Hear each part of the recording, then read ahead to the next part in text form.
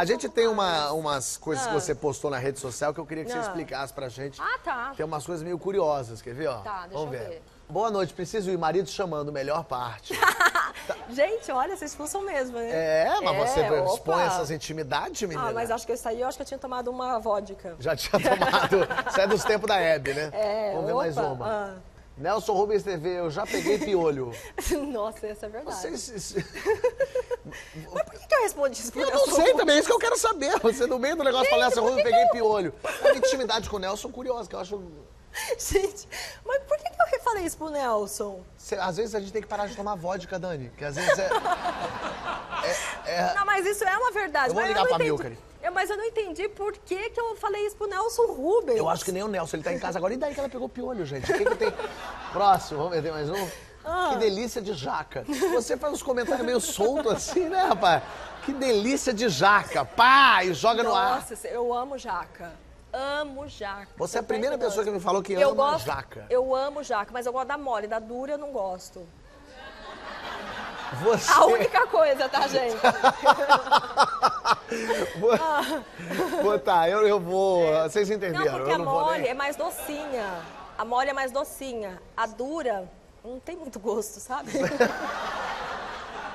Eu não vou nem comentar, eu vou Perdoa, deixar. Fábio, perdoa, passa. Eu vou deixar, eu vou deixar. Tem mais uma? Tirando leite.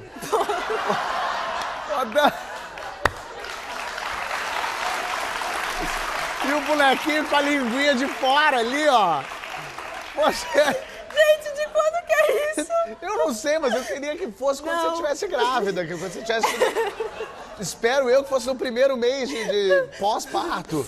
É, provavelmente. Eu tirava leite pra tudo que é lugar. Se deixasse, eu tirava aqui, se eu estivesse amamentando. Eu amamentei muito tempo e realmente eu parecia uma vaca leiteira, toda hora com uma ordenha. Mas você vai lançar um livro falando disso, não vai? Vou, exatamente, falando sobre maternidade. A gente tá terminando, finalizando o livro. A gente aqui, você e as crianças, não. Não, a gente eu falo a editora, Ah, a tá, equipe tá, tá. que trabalha comigo, né? É, porque, assim, é um assunto que muitas pessoas é, têm muitas dúvidas, têm muitas dúvidas. E sempre me perguntam, tipo, porque eu tive parto normal. Os dois passam normais. Foram normais. A Alice, Porque você queria isso Porque eu desde quis, sempre? por exemplo, a Anto- a Antonella nasceu de 57, em 57 minutos ela nasceu. A Antonella demorou um pouco, a Alice demorou um pouquinho mais, foram quatro horas. só. Eu estava em trabalho de parto, eu estava morrendo de fome. Eu falei, preciso comer alguma coisa de sustância, porque vou fazer força, vou desmaiar, né? Aí eu fui no restaurante, comi uma canja, Um trabalho de parto? trabalho de parto, eu comi uma canja. Aí eu lembro que chegou, tinha um médico no restaurante e falou assim, nossa, você tá com uma cara que vai ter luz. Eu já estava, assim, em trabalho de parto Será que já. ele já não tinha visto um bracinho saindo? Ele falou, tô achando que você vai... Ó, tá pra nascer, hein? Pode ser. E você conta alguma... Que dica que você dá pra quem teve filho agora? Minha irmã teve filho agora, olha meu Ai, sobrinho. que graça. Estou apaixonado Gente, sabe que eu tinha Francisco. visto aqui essa foto, a hora que a gente olhou ali? Meu eu falei, afilhado. que graça. Olha, gente, que Aí, fofo. Coisa mais linda do mundo. A gente tá até cansado de ver, sabe? Que fofo. E eu não estou, porque ele é Não. maravilhoso. E Mas ela teve parto normal? ela teve cesárea. Ela queria ter parto normal, mas a criança estava muito aqui em cima. Teve... Mas aí tem que fazer uma massaginha aqui. Ela fez de tudo. É. Ela chegou a jogar basquete, mas não rolou. e aí... Não, porque tem que fazer bastante agachamento, sabe? Sei. Pro bebê descer. Acho que se ela fizesse agachamento, ela não voltava, ela ficava lá. Mas que dica Ah. que você dá, assim, de recuperação? Que coisa pra grávida que você sacou e que é uma dica valiosíssima? Olha, o que, que acontece? Se você pensar, vai doer? Vai doer. Você fica- se você ficar, porque você fica, o que, que acontece? Você tem que relaxar. Ao mesmo tempo que você faz força, lá embaixo tem que estar relaxado, entende? Sei, imagino. Entendeu? Então aí o que, que acontece? A mulher fica com medo, ela. Hum, Pressiona, é, porque, porque se você for pensar, eu fico sempre imaginando que é como se eu tivesse, Ah. como se do meu nariz saísse um frango. Tipo, e é meio, meu Deus, o que é que tá acontecendo? É a sensação que me dá. Não.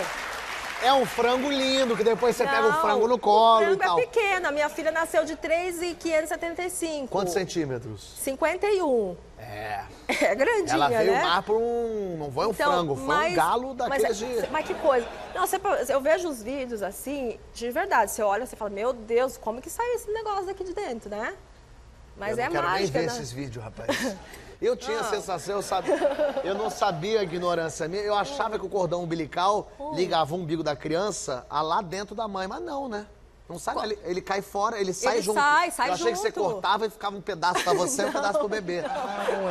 Eu achava. Eu Não, também gente, achava eu isso. placenta, eu tô- Não é. Não é? Não, é- é- era conectado lá Fábio, dentro e quando nasce. tu é tão mais sábio É que eu, menino. E aí você tira, você Não, corta sim. Você corta só porque ele vai ficar com um rabo no umbigo. então você corta pra ficar só aquele troço que parece uma guimba de Ah, cigarro. mas deve ser uma boa também, né? A criança acabou meio enrolada assim, pegar pra mim.